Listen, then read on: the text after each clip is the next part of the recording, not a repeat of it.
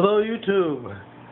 Uh, this is a video on the problem I'm having with my Aqueon 48 inch modular LED aquarium light. It's currently off so I'm going to turn it on and you can see what the problem is. This happened just the other day. So you can see it tries to go on and doesn't quite make it. All it does is flash. So uh, I purchased this uh, in early June uh, of uh, 2016, and this is uh, early December 2017. So uh, just, I think, just shy of a year and shy about a week of a year and six months. So it only has a one-year warranty. So that's the the bad news is it doesn't work.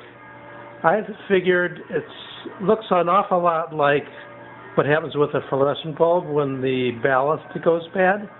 So I figured it was probably a power related item. So I'll show you what the power the power unit. Power unit is this. It's a what uh what does it say? 12 volt 2.0 amp uh, unit. So that's the bad news. The good news is that I called Aqueon customer service, got the tech department. They said, yeah, it's probably the power supply.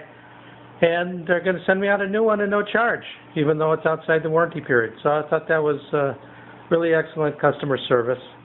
And uh, when that shows up, I'm expecting it will uh, fix the problem. We'll see. If it isn't, I'll post an update in the comments.